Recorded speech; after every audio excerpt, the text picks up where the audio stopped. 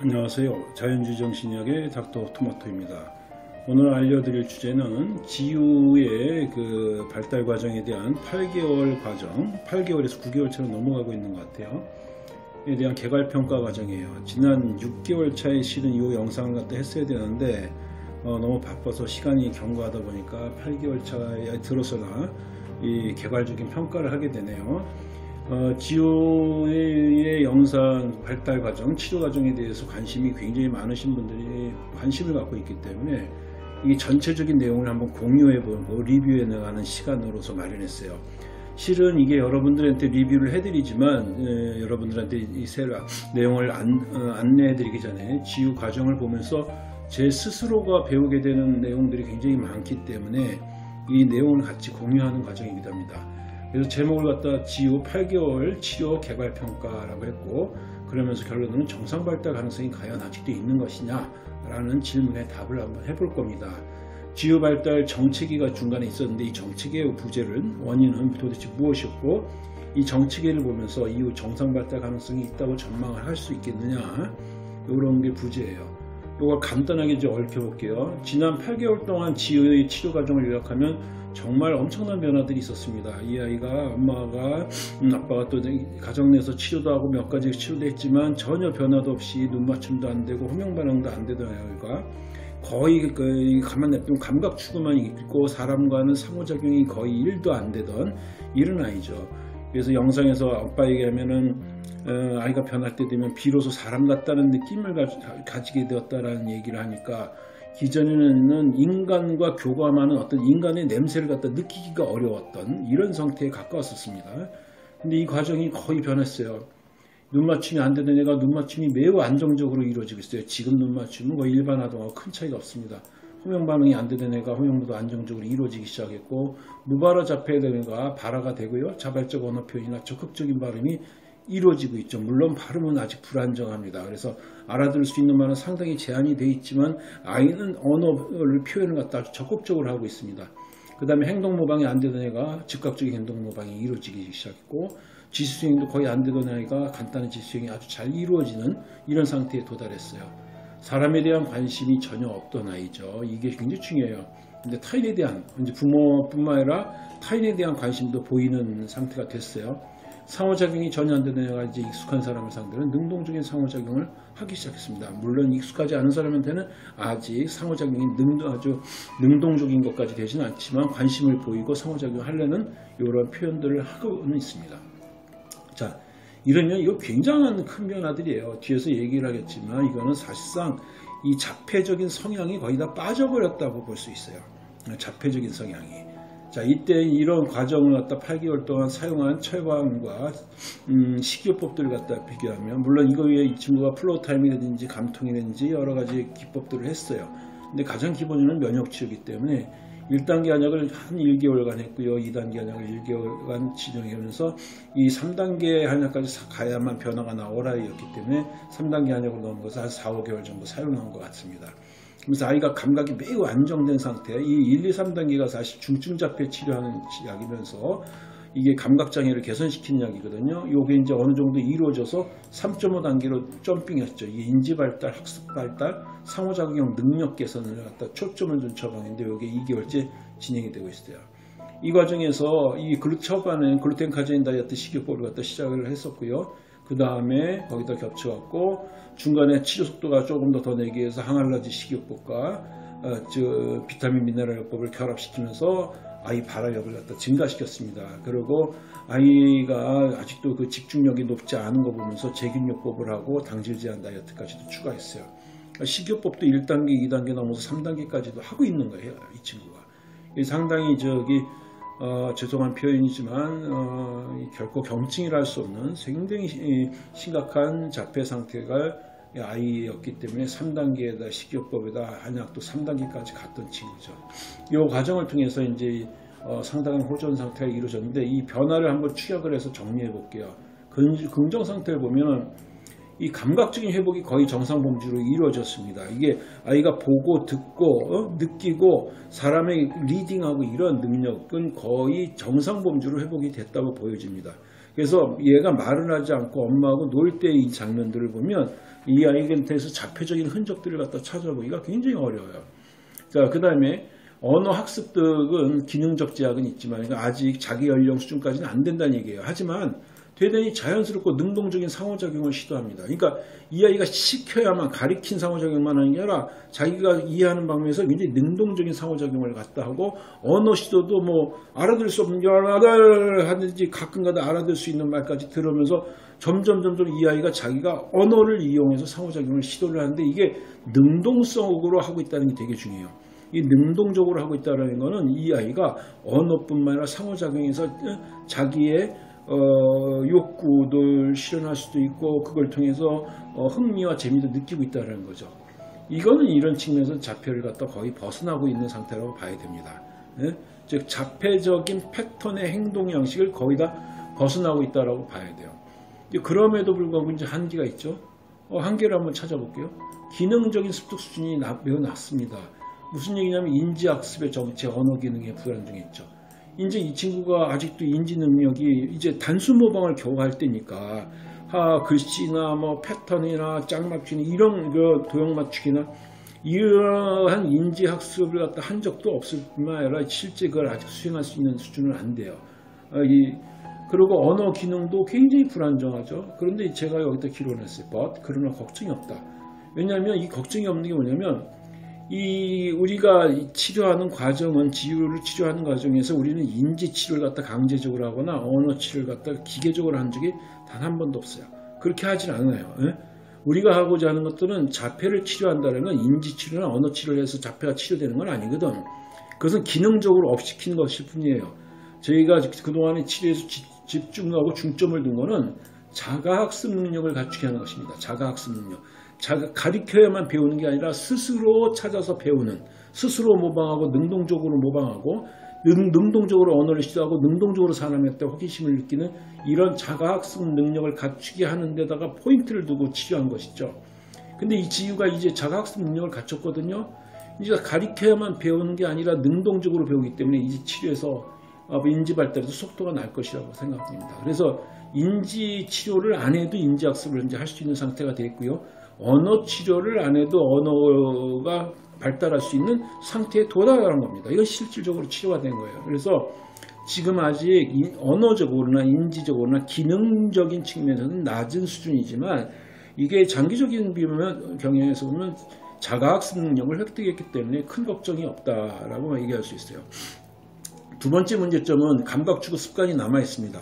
이 지우 영상을 갖다가 엄마 그 지우의 유튜브 들어가서 보면 어, 아니다. 지, 제 영상에서 그 이런 질문이 있었어요. 지우한테 감각축 흔적들이 보이는데 이게 나이를 먹어가거나 치료를 하면 더 이것도 좋아질까요? 라고 질문이 이제 제 유튜브에 어, 댓글로 있었는데 제가 요즘 댓글에 답을 못 달고 있어요. 근데 어, 이것도 못, 따라, 못 따라대는데 결, 그러니까 이 아이가 아직 시, 시각추가 많이 남아있거든요.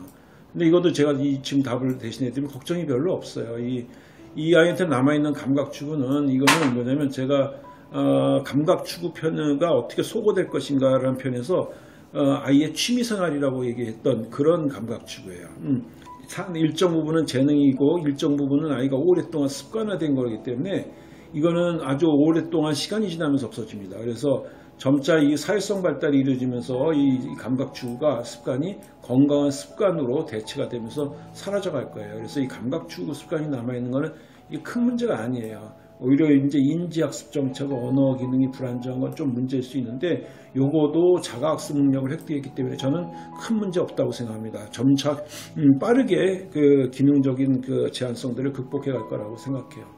그래서 이 제가 평가는 하는 이 지우가 보여주는 그 감각 처리 상태하고 그 그런 욕구 상태, 사회적인 교류를 갖다 해낼 수 있는 욕구와 능력이라는 측면에서는 어, 저는 자폐적인 패턴을 갖다 완전히 벗어나 있는 패턴에 도달했다고 이해를 하고 있습니다. 그리고 펑션적으로, 즉 기능적으로 부족한 건 있지만 그건 자가학습 능력을 획득했기 때문에 점차 대체가 될 것이다 라고 어, 말씀을 드릴 수 있어요. 근데 이제 지우의 미래를 갖다 예측하는 데 있어 갖고 되게 중요한 지점이 이거예요.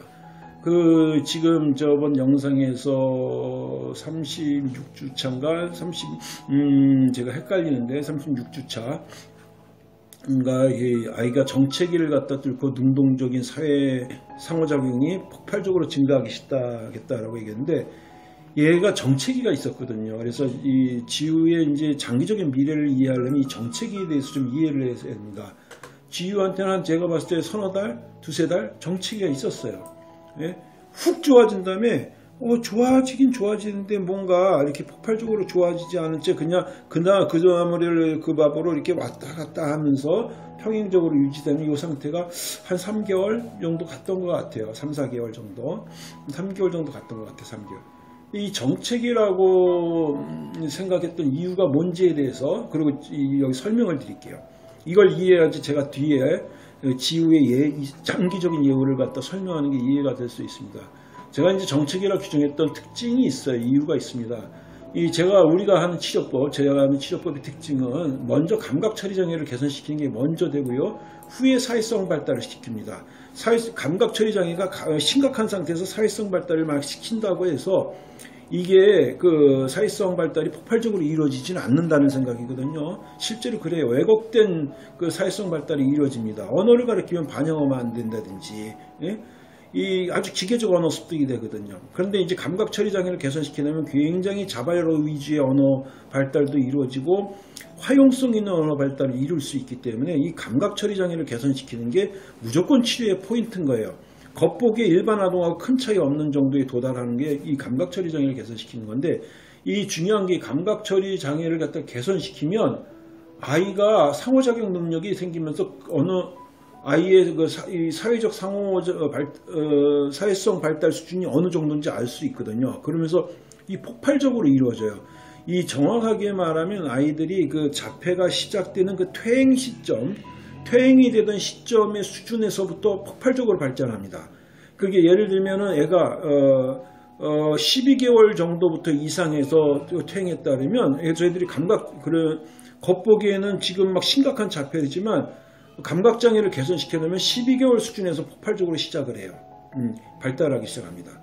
그리고 어, 만약에 18개월 때까지 말도 조금 하다가 무발화가 자폐가 됐다 이러면 그러면 감각장애가 개선되면 말이 확 나와요. 말이 나오면서 쑥 발달하기 시작해서 이 사회성 발달의 속도가 자기가 퇴행하던 그 시점에서 시작되는 경향이 거의 대부분 아이예요. 거의 대부분 아이들. 그래서 아이들을 치료하면 아 얘가 치료하면 어느 정도의 속도로 좋아지겠다라는 게 이제 예측이 있었거든요. 어 근데 저는 이 지유가 좋아지면 한 돌쟁이 수준에서 발달을 할 거라고 생각을 했었어요. 돌쟁이 수준. 네? 왜냐면은 이게 그 제가 영상도 좀 자세히 보고 여러 가지 기대하면 얘가 무발아이긴 했는데 엄마 아빠가 한 돌 넘어 두 돌까지는 괜찮다라고 이제 얘기를 했었어요. 근데 제가 봐서는 그렇지 음, 보니까 무발화였던 거 보면 대체로 돌 전후로 퇴행을 시작했을 거라고 생각을 했죠.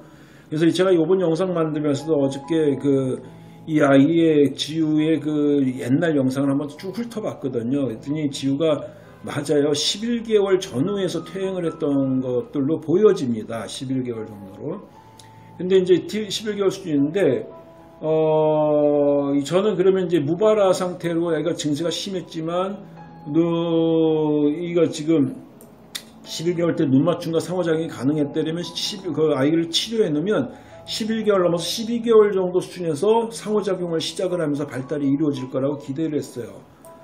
그런데 이제 문제가 뭐가 됐냐면 얘를 갖다 치료 과정의 특이사항은 어, 감각 처리 장애가 개선이 되도록 4, 5개월이 경과하도록 얘가 돌쟁이 수준이 되면은 어, 굉장히 풍부한 비언어적 의사소통도 하고요. 지시수행도 왕성하게 이루어지고 그래야 되는데 그런 게 이루어지지 않은 채 그냥 낮은 수준의 감각놀이 상태만 계속 지속이 됐었거든요. 언어도 발화가 나왔지만 놀이 수준으로 보면 한 대략 6, 7개월 수준의 아이로 놀이가 상호작용이 지속이 됐어요. 그래서 이게 3, 4개월 어? 간그 정도 개월 수에 머물러 있으니까 돌도 안 된 개월 수에 머물러 있으니까 아 이거 뭔가 심각한 정책이다. 그래서 사실 그 걱정이 굉장히 많이 됐어요. 이, 이, 이 정체가 생긴 이유도 이해가 잘 안 되고. 어, 근데 이제, 아이가 최근에 이제 보여주는 발달이 폭발적으로 다시 시작이 되면서 사회성 발달이 이루어지기 시작하는데 보니까 이제사 돌쟁이 수준이 나오기 시작합니다. 이제사. 이제사 돌쟁이 수준이 나오기 시작해요. 아, 이런 그 정체기가 생겼던 원인은 이건 결론은 이제 제가 열심히 고민해 본 결과 이렇습니다. 지유는 잠재적 사회성 발달 수준이 6개월 수준이었던 거라고 봐야 됩니다. 그러니까 제가 처음에 오판을 했던 거예요. 얘가 감각장애가 개선이 되면 한 12개월 정도부터 발달을 시작할 거라고 기대했었는데 그게 아니라 6개월 수준부터 발달을 할 수밖에 없을 정도로 퇴행이 그 정도 수준이었던 거예요. 그러니까 아이가 감각놀이부터 갖다 장시간 했던 겁니다. 감각놀이를 갖다가 어, 굉장히 강, 강도 있고 질 있게 시간을 갖다 몇 달 한 다음에 돌쟁이 수준으로 훅 점핑해서 어, 나타난 거예요. 그러니까 얘가 1회 6개월이었을 경우에 몇 가지 그 가능성이 있는데요. 첫 번째 가능성은 지유 퇴행 자체가 6개월경에 이루어졌을 가능성이 되게 높아요. 이것도 가능성 하나 높고 아니려면 얘가 11개월 때까지 정말로 정상 발달했다면 한 5개월치 뇌, 어, 지능 손상이 이루어진 겁니다. 얘가 3단계 아주 중증의 감각장애 상태로 몰입장애가 심각했던 상태의 아이인데 이 몰입장애는 사실 지능을 손상시키거든요. 그러니까 얘가 대체로 그 11개월 정도에 퇴행했다면 아마 6개월 정도 수준으로 한 5개월 정도의 수준의 그 지능적인 퇴행이 이루어진 것이라고 추정이 됩니다. 어쨌든 결론은 6개월에 퇴행했던 아니면 퇴행하여 지능 손상이 돼서 다시 6개월 정도 수준으로 퇴행을 이루어졌던 간에 결론은 우리가 감각장애를 개선시켰을 때 지유는 실은 6개월 수준이었다. 그러니까 정책이었던 것이 아니라 지유가 되게 어, 몸놀이를 갖다 장시간 하는 게 오히려 필요하고 아이가 상어 그 감각놀이를 갖다가 감각놀이를 갖다 굉장히 고강도로 하는 게 필요하던 시기였다라고 볼 수 있는 거죠. 그러니까 정체기 놀이를 했던 게 아니라 자기한테 필요한 자기 발달 단계에 딱 맞는 놀이를 어, 했던, 요구했던 거고 거기에 응해주던 지난 놀이 과정 엄마 아빠의 희생적인 그 놀이 과정이 어, 낮은 수준이었지만 지우한테는 되게 적합한 필요 과정이었다라고 이제 지금사 이해를 좀 하고 있습니다. 이걸 하고 있어요. 정체기가 있었지만 실은 정체기가 아니었다라고 결론적으로 말씀드릴 수 있어요. 그럼 지금 지우는 과연 다시 한번 물어볼 수 있어요. 정상 발달 가능할 것인가? 이 제가 이 영상을 만들면서 맨 처음 리뷰했을 때 영상을 쭉 보니까 지우의 첫 번째 인터뷰에서 지우가 정상 발달할 수 있는 가능성은 한 6, 70% 수준이다라고 얘기했었어요.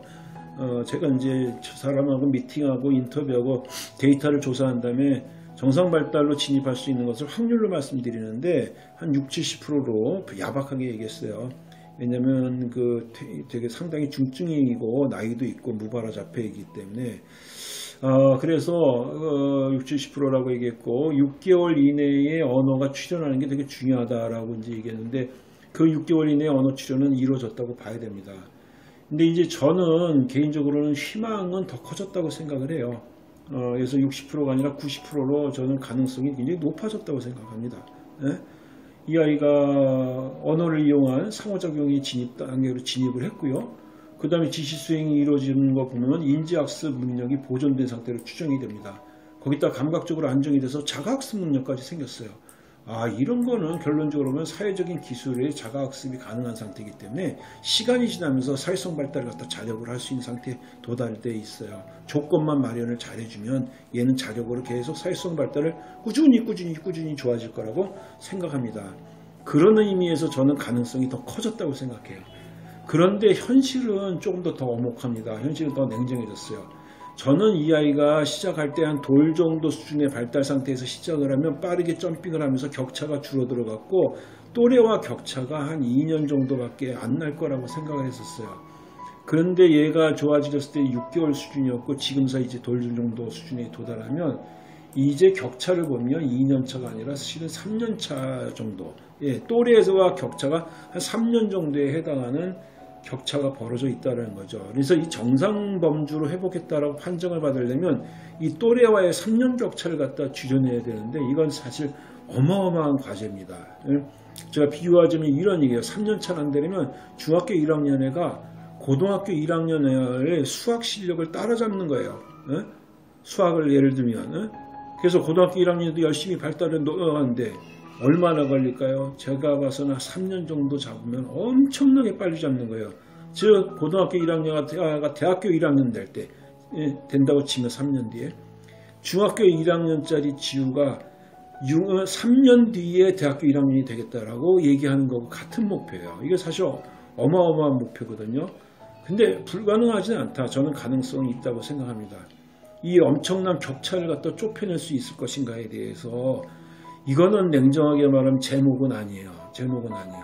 저는 이때까지 아이가 어, 감각적인 것, 면역적인 것을 안정되게 유지하도록 도와줄 거예요. 그리고 이것은 뭐에 있어 유지하냐면 이후에 이제 학습 속도와 발달 속도가 이 격차를 줄일 수 있을 정도까지 되느냐 문제인데 이, 이 방법은 단 하나입니다. 격차를 줄이는 방법은 아이의 경험을 확장시키는 거예요. 예? 즉 다른 아이들이 하루에 하루치씩 경험을 한다면 우리 지우는 하루에 이틀치씩 삼일치씩 경험을 해야 됩니다. 그 정도의 다량의 사람과의 교류 경험을 갖다가 해나가면 이 아이의 사회성 발달은 속도 있게 이루어질 수 있어요. 여기서 속도가 되게 중요한 거예요. 속도. 그래서 또래와의 교류 경험을 체계적으로 확장해야 되고요. 지속적으로 floortime식 가정보육이 이루어져야 됩니다. 이런 격차를 ABA로 늦추는 건 거의 불가능할 거예요. 아마. 이 floortime식 방식을 통해 갖고 아이가 다양한 사람과의 상호작용 경험을 갖다 확대해 가면서 정상 범주로 회복들을 갖다 목표로 할 수 있을 겁니다.